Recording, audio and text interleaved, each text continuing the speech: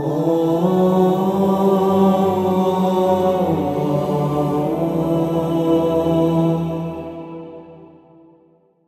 الله الرحمن الرحيم.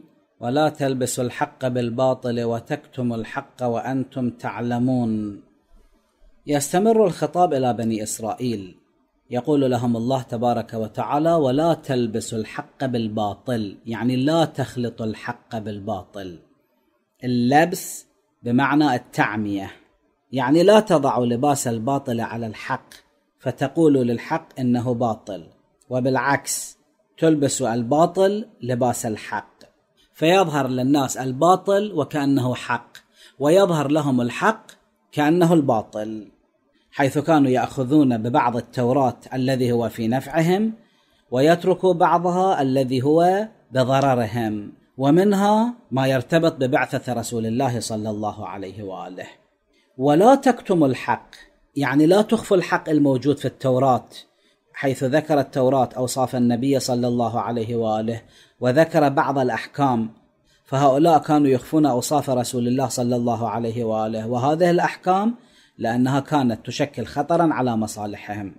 لذا قال الله تبارك وتعالى قل فأتوا بالتوراة فاتلوها إن كنتم صادقين ولا تكتموا الحق وأنتم تعلمون. تدرون هذا عملكم باطل وأن الحق مع محمد صلى الله عليه وآله. وتعلمون أن عملكم تلبيس الحق بالباطل وكتمان الحق. وفي الحديث الشريف خاطب الله بها يعني بهذه الآية قوما من اليهود ألبسوا الحق بالباطل بأن زعموا أن محمدا نبي وأن عليا وصي ولكنهما يأتيان بعد وقتنا هذا بخمسمائة سنة.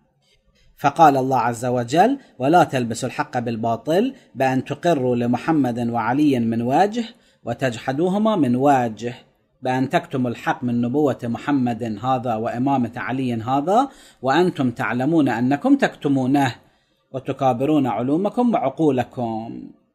ثم يذكر القرآن لهم أمورا ثلاثة وهي مهمة للوصول إلى الهداية. وأقيموا الصلاة وآتوا الزكاة واركعوا مع الراكعين. أولا وأقيموا الصلاة لأن الصلاة تنهى عن الفحشاء والمنكر فتكون سبب هدايتهم.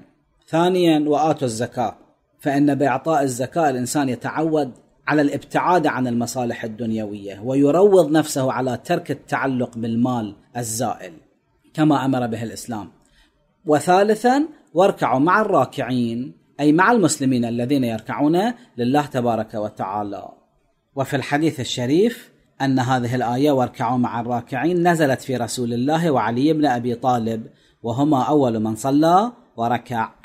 طبعا هذا تأويل الآية ويمكن أن نستفيد من هذه العبارة قضية تربوية. الجو العام يؤثر على الإنسان فلا بد من صنع هذا الجو العام لتربية الأجيال في البيت وفي المجتمع. ثم يقول الله تبارك وتعالى لهم أتأمرون الناس بالبر وتنسون أنفسكم وأنتم تتلون الكتاب أفلا تعقلون؟ أتأمرون الناس بالبر؟ هذا استفهام استنكاري وتوبيخي يوجه اللوم والتوبيخ عليهم. لم تأمرون الناس بالأعمال الخيرية؟ لم تأمرونهم بالإيمان؟ والتقوى وتنسون أنفسكم. النسيان كناية عن عدم العمل لأن النتيجة واحدة اللي ما يعمل واللي ينسى كلاهما لم يعملا. فأنتم تأمرون الناس بالبر وكأنه نسيتم أنفسكم.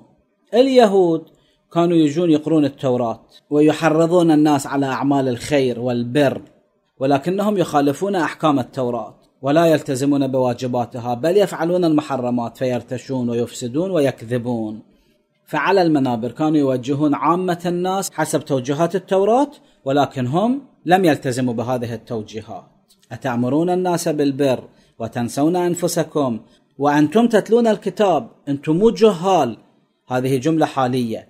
يعني والحال أنكم تقرؤون كتاب الله واللي يقرأ كتاب الله وهو عالم يلزم أن يكون أول العاملين به. أفلا تعقلون؟